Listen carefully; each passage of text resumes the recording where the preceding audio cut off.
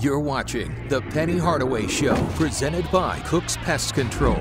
The win streak is up to four as the Tigers are back on a roll. We'll recap games against East Carolina, UAB, sit down with Ashton Hardaway, and look ahead to the regular season finale, round two against FAU. It's the Penny Hardaway Show. Let's go.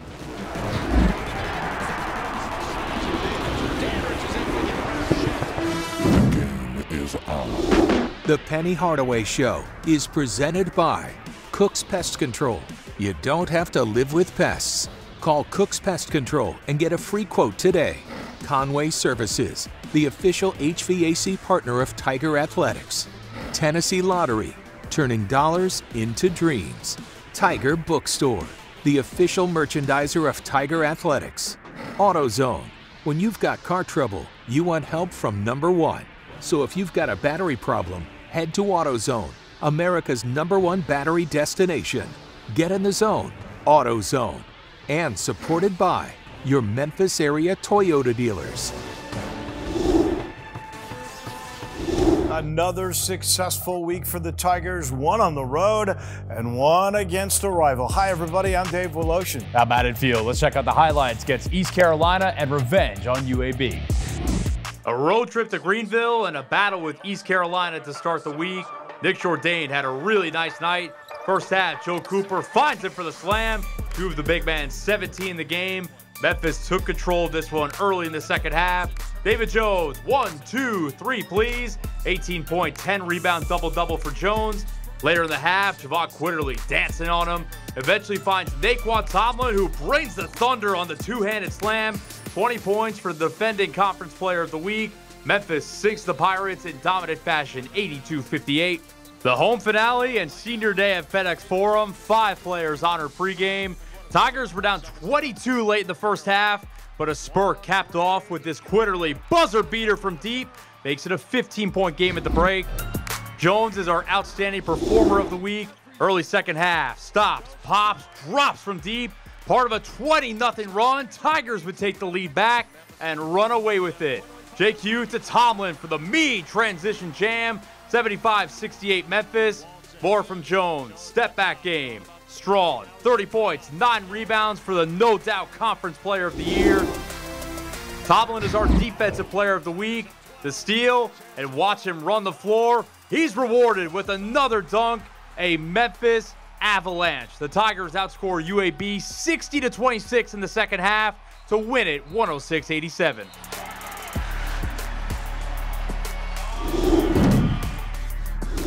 Coach, as we dwindle down, get ready for the conference tournament, we haven't talked much about the American, a league that seems to have quite a bit of parity. Obviously, a big surprise in, in South Florida. But talk about this new setup and all the new schools. Yeah, this setup is uh, tougher than all of us thought. You know, we never took anyone for granted, but we didn't know that these teams would be as good as they are. Uh, the nation didn't doesn't respect the league, but if you look around the league, there's been some tough, tough games, and some uh, some games that have come down to the wire. A bunch of overtime games and not a lot of blowouts. So, it's it's been really good for us after losing Houston, Cincinnati, and UCF. You said it's been a little surprising, maybe, how competitive the league has been. And it felt like for you guys, that was right from the jump. Went down to the buzzer at Tulsa, tough game here against SMU. What did the light click for you guys that this was going to be a lot tougher than you were expecting? No, me, I study. I study a lot. You know, obviously in the first week you saw what teams had what guys. You know, the guys that were on their team from the portal or back from the previous year, or transfer with a coach to to the school, as as in uh, South Florida because they brought some guys from Kennesaw State with them to uh, to South Florida and you saw the chemistry early with those teams. So I'm like, okay, these teams are are not bad. I'm sure the players started recognizing way later than me because, you know, we went out and thought we were just gonna win those games because we just showed up to play. You hit on USF, obviously a really tough second half at home against them, but now they are regular season champs of the conference, and maybe no one knew how good they were going to be at the time. When you look back at that, was that kind of an awakening for them and maybe a turning point for you guys? it was an awakening for them because they hadn't lost since they played us. And momentum is everything, man, because when I look at them, their record states that they're the best team. They just get it done. They get it done, and momentum is everything. So I'm not taking anything away from them. Coach Abdur-Rahim has done a fantastic job with that group. Meshed the guys from last year with the guys that he brought with him, with maybe one or two portal guys, and they've they've done great. But that's just the way the league has gone this year. Well, it's astounding. You think about it. They're picked 13th to do what they've done, but then you know, all, all these new groupings coming together, playing new places. Tigers had not been to North Texas since they were in the Missouri Valley Conference days. And, uh, you know, your coach, Larry Finch, he didn't even play in that building. He played in the building across the street of it. We'll be at FAU for the first time. It, it's, it's, we haven't been to Charlotte yet, but you know that's going to be a very fun place to play. We used to play years ago when they first built that building. It was CUSA. All the new experiences. What have that been like for you? It's been fun because you know Dallas is always, even though it's outside of Dallas, uh, Denton, Texas is always you know part of the Texas trip, the Dallas trip. So that was cool. Uh, actually going to Boca for the first time will be nice because the weather will be great and it's a, it's a great environment. And not gonna, um, you're not going to get to play any golf, I'm afraid. No, no golf, but it's okay. It's just being in the nicer cities, and uh, that's that's good when you add those teams. And Charlotte, you know, Charlotte, the Queen City, you know, hadn't been there, played there in the NBA, but hadn't been there in a while. So looking forward to going back to there, back there as well. Let's hit on FAU. You guys just took care of them at home. Game we had all been waiting for since last March, since the NCAA tournament game. Now, after the game, Dusty May was asked if it's a rivalry, and he kind of dodged it a little bit, but you embrace it. You said that you think it is. And in a way, with Houston being gone, you guys kind of need a rival to step into that place. What are your thoughts on that brewing? Yeah, I can understand it from his point of view because he was like, hey, you know, we beat them in the NCAA tournament and gone on to the Final Four. They just beat us because we're in the league together this year. It's not a rivalry yet, but it's already brewed because of the smack that they talk and the energy that goes into those games. It's, it's rightfully so, right? I mean, for it to be a rival. I buy that. Well, let's let's try to determine what is a rivalry the one thing you got to have are really good games. And team's got to win and a team's got to lose. And now it's two and one. You know, people forget you played FAU.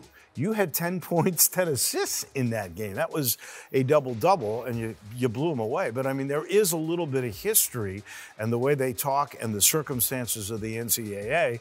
I'm not saying it's Houston yet, but it's getting there. It's not Houston, but there's, there's beginning to be a big hate for you know for the players against one another, and that's all it takes. What other team besides USF has maybe surprised you within the conference this year? Charlotte. Charlotte has surprised me in the conference this year, and uh, obviously South Florida. Again, South Florida, they, they do a great job. They know who they are. They don't stray away from it, and um, they've won a bunch of close games, which is what you have to do. And they, again, momentum has been on their side. And then even middle to lower, you've got surprises all over the place. Rice has won here. Rice won at Birmingham, a team that it looked like they were really getting their footing all set in. You just never know in this league. It really is top to bottom pretty competitive. I think seven teams could win in Fort Worth. Yeah, the, uh, Rice is definitely was shocking with the way that they run their offense and the big men that they have to make all the plays their style is really hard to guard. You got to really bring your hard head that game. And UTSA, mm-hmm. UTSA is a team that shoots the ball exceptionally well. They, they could jump up and grab you as well. How is this experience with this conference this year? Some surprising losses despite a talented team. How is this going to change things going into next year, assuming you have a talented group again and conveying the message to take nothing for granted? No, you you go out and recruit the mindset of guys that you want. I think, you know, with this group, maybe a little cocky because of the guys coming from larger conferences and coming down thinking that it was going to be easy. Next year, the message will be given. Hopefully, we can have the team ready in June or July. We still haven't had a team in June or July. All these other teams do. They have their teams early, so they get started early. So if we get started earlier, they'll definitely get the message early. It's now three cents at Memphis. We'll sit down with the youngest Hardaway, Ashton, to talk about his freshman season. Coming up next. You're watching The Penny Hardaway Show, presented by Cook's Pest Control. Welcome back to The Penny Hardaway Show. Some would say Ashton Hardaway was destined to be a basketball player from the time he was little, but he's carved his own path along the way, and now he's joined his famous father and his older brother here in Memphis.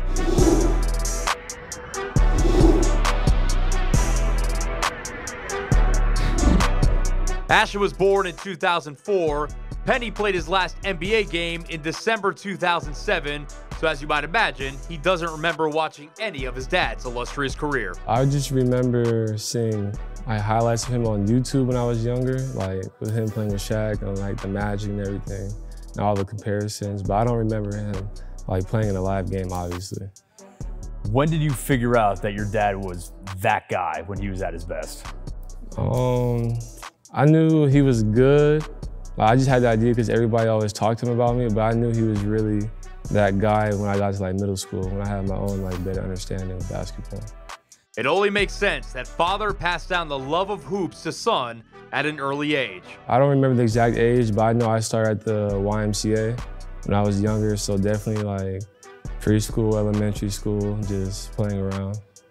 You feel like it was almost determined at an early age what you were gonna do? Yeah, I feel like I just felt like it was always the right thing for me to do. Like basketball was always around me, so I just picked it up pretty easily. Ashton grew up in California and spent most of his childhood there. He did play his junior year of high school in Duncanville, Texas, where he was part of a team that won a state and national championship.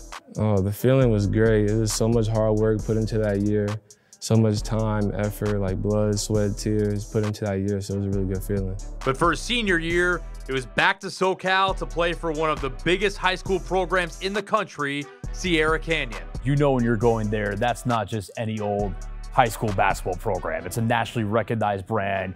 You're playing with other big name stars. You're playing nationally televised games. What was that experience like as far as embracing all of that and soaking it in for the first time? Uh, it came really fast, actually. It felt like the NBA schedule, really, because we always played in sold out arenas, sold out crowds, different celebrities at all of our games. So it was, it was crazy. There were like actors there, like like Michael B. Jordan, like rappers, like Polo G, the Kardashians were at our games. So a lot of NBA players were at our games too. So it was pretty crazy.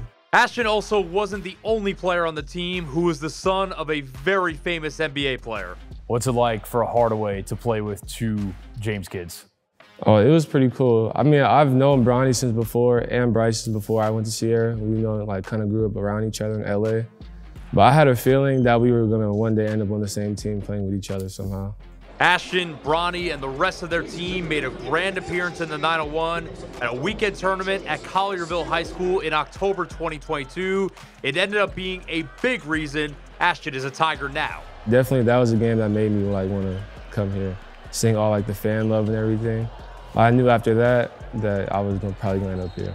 Interesting. So you did not have like your mind made up before that appearance. No. And that swayed it. Yeah. After that game, like Memphis definitely like boosted. I was like, okay, I'm really leaning towards here now. Like, all the fan love and appreciation. Everybody asking me, am I going to come here next year? That really had me hyped up. When you finally commit here and you realize you're going to play for your dad and alongside your brother, what's that feeling like? Um, I can't even really describe it. It's such like a rare feeling. Not that many people get that opportunity. But like just being in it now and enjoying the process and everything is really good. I'm glad to have them by my side through it. How do you separate dad and coach on your side? Oh, well, it's really easy because my dad, he's like a player's coach. So he's really easy to understand. Like he relates to us. So it's really not as hard as it seems because that's just the way he is. That's his personality. So, but he does. I imagine he coaches you the same way he coaches everyone else, right? No, probably like Carter, if anything. Yeah, he's on me pretty hard, but it's a good thing, though. This season has also allowed Ashton to spend extended time with his brother Jayden for the first time ever. The two have different mothers and never lived together growing up. Being able to develop that relationship has been one of the youngest Hardaway's favorite parts of the season. Oh, it's been really great. It's probably like one of the best years of my life, like experiencing new like basketball life in college, just learning, growing as a person, but also growing with him as my brother, who I didn't really grow up with as much. But now we're like close as friends. Like we tell each other everything. Like we're really close now. So it's a really good feeling. I wasn't expecting it to be like that. Ashton showed his potential early in the season when he torched Michigan for 17 points on five of seven shooting from deep and a Tigers victory in the Battle for Atlantis tournament. Uh, it was really good. It started early. I think that was only like our fourth game of the season or something like that.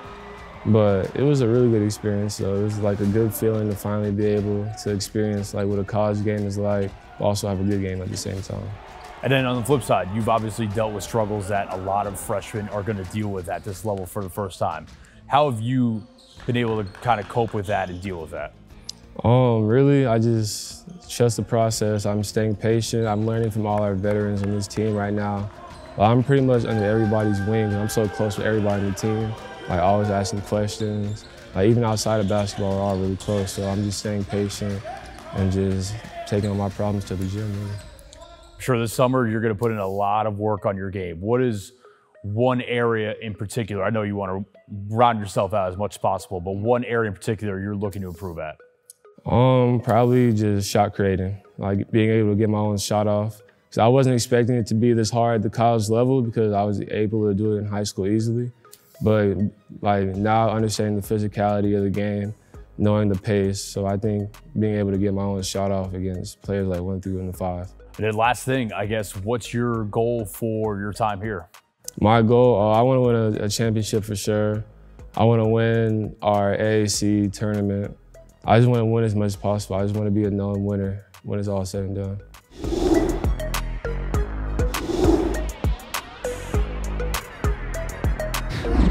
We always talk about basketball teams being family. In your case, we're really talking family. Tell us a little bit about your youngest son, Ashton. Yeah, Ashton, born in California, California kid, California raised, actually enjoyed basketball from the very day, the very beginning, and has had a basketball in his hands since he was born and just fell in love with it and has been working so hard to gain a reputation of a really good player. He was out on the West Coast with a lot of other good players and was always looked over.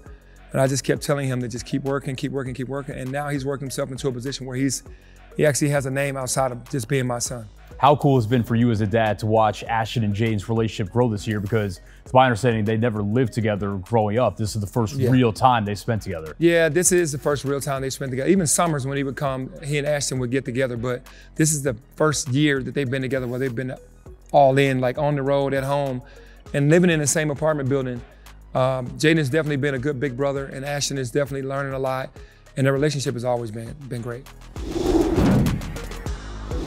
Would there be any better way to end the regular season than with two wins against FAU in 14 days? We'll preview the regular season finale in Boca. Coming up next.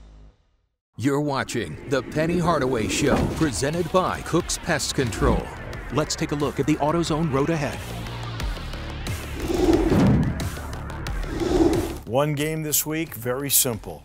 FAU Chapter 2. Daiquiris and flamingos. and the beach. No, it's going to be a hostile environment. I heard that they had already sold the game out before they came here, so they're going to be ready. We're going to be ready. I think the, the arena only fits like 2,900 people, but obviously, like you said, like brewing rivalry, it's going to be hostile. What are you telling the guys in preparation for that? I don't think I have to tell the guys anything. I think FAU told them enough when they were here in Memphis about how they felt about him. So that we'll, we'll be ready. So motivation is not going to be a problem. Chemistry has certainly turned around. It seems like it always does the end of February, early March for your teams. Yeah, especially this year. It was a little later this year because of the portal. You know, we went out and got so many guys, and it's just taken this long with this new team. Remember, we don't have Caleb Mills' team anymore. This is a totally different team with Nae'Qwan Tomlin and Jordan Brown coming back. So it's taken this team that long to, to get it right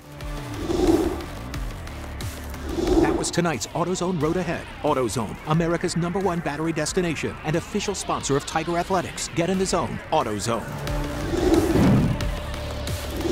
Yeah, all the ingredients are there. This FAU game, it's now a rivalry. Back with a wrap in just a minute.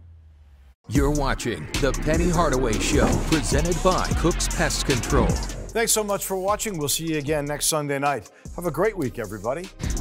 The Penny Hardaway Show is presented by Cook's Pest Control. You don't have to live with pests. Call Cook's Pest Control and get a free quote today. Conway Services, the official HVAC partner of Tiger Athletics. Tennessee Lottery, turning dollars into dreams. Tiger Bookstore, the official merchandiser of Tiger Athletics. AutoZone, when you've got car trouble, you want help from number one. So if you've got a battery problem, head to AutoZone, America's number one battery destination. Get in the zone, AutoZone. And supported by your Memphis area Toyota dealers. This copyrighted telecast is an exclusive presentation of Learfield under the broadcasting rights granted by the University of Memphis. Reuse of this presentation is prohibited without the expressed written consent of the University of Memphis and Learfield.